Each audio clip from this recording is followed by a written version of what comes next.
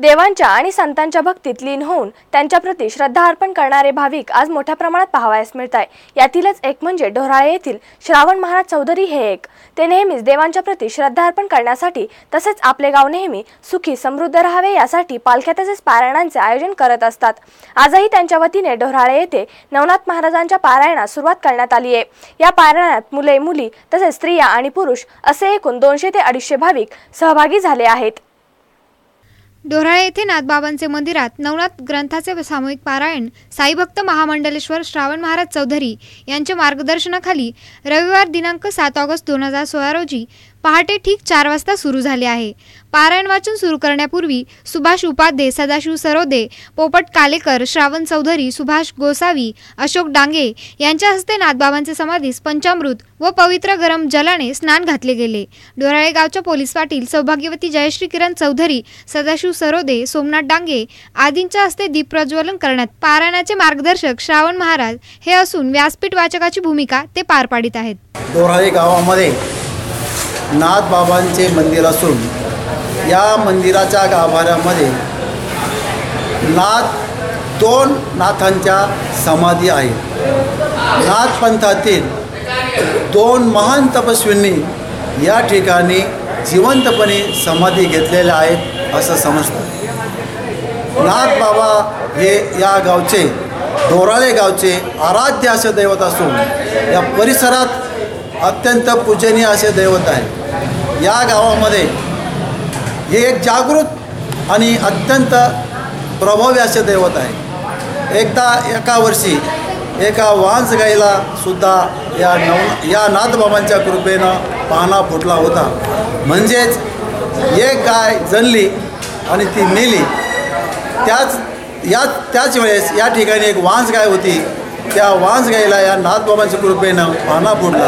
आणि त्या वांस गाईनं मेलेल्या गाईच्या वासराला दूध पाजलं नेहमी पाजलं. अशा पद्धतीने हे अत्यंत जागृत असं देवस्थान आहे. दोराळे ग्रामस्थ अनेक वर्षापासून अनेक पिढ्यांपासून श्रावण महिन्याच्या दुसऱ्या सोमवारी नाथबाबाचा भंडारा या ठिकाणी साजरा करत असतात. त्या निमित्तानं श्रावणी दुसऱ्या सोमवारी गंगेच आणलेल्या कावडीत पाण्याची कावडीची मिरवणूकसुद्धा या ठिकाणी होते. याच ठिकाणी अडतीस वर्षापूर्वी या ठिकाणी मी नाथबाबांच्या कृपेनं नाथबाबांच्या प्रेरणेनं आणि नाथबाबांच्याच आशीर्वादानं याच मंदिरामध्ये नवनाथ ग्रंथाचे सामुदायिक पारायण सुरू केलेलं आहे. पहिल्या वर्षी नऊ जणांनी या पारायणामध्ये भाग घेतला. माझ्यासह नऊ व्यक्तींनी नवनाथ ग्रंथाचे सामुदायिक पारायणाचे वाचन केले. नंतर आम्ही या या पारायणाची सांगता जी आहे ती श्रावणी म श्रावण महिन्याच्या दुसऱ्या सोमवारी म्हणजेच भंडाराच्या दिवशी घेतली. ही संख्या वाढत वाढत पहिल्या वर्षी नऊ झाली दुसऱ्या वर्षी तेरा झाली सतरा झाली तेवीस झाली. आणि अशा पद्धतीने ही संख्या वाढत वाढत एकशे पंच्याहत्तरपर्यंत गेलेली आहे. आता जवळजवळ दोनशेच्या घरामध्ये ही संख्या जाण्याची शक्यता आहे. पारायणाचे हे अडतीसवे वर्ष असून या पारायणाची प्रथा श्रावण चौधरी यांनी सुरू केली आहे. पहिल्या वर्षी श्रावण चौधरी यांच्यासह फक्त नऊ भाविकांनी या पारायणात सहभाग घेतला होता.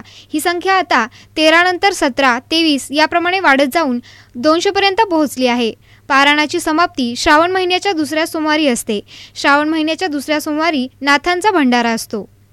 या मंदिराच्या गाभाऱ्यात अनेक वर्षापूर्वी नाथपंथातील दोन महान तपस्वी साधूंनी जिवंत समाधी घेतल्याचे सांगितले जाते. हे अत्यंत जागृत देवस्थान असून या गावचे हे आराध्य दैवत आहे. पारायण काळात दररोज दुपारी चार वाजता प्रवचन व रात्री नऊ ते अकरा कीर्तन असते. पारायणाची प्रथा सुरू झाल्यानंतर चौदा वर्षांनी ग्रामस्थांनी या पारायणास प्रवचन व कीर्तन यांची जोड दिली आहे. तोपर्यंत पारायण खूप नावारूपाला आले होते. शिर्डी राहता तसेच कोपरगाव इत्यादी ठिकाणच्या पत्रकारांनी या पारायणास खूप प्रसिद्धी दिली होती. प्रतिनिधी ललित घोरपडे व गणेश भालेरावसह सुचिता कुलकर्णी एस पी चोवीस तास डोराळे.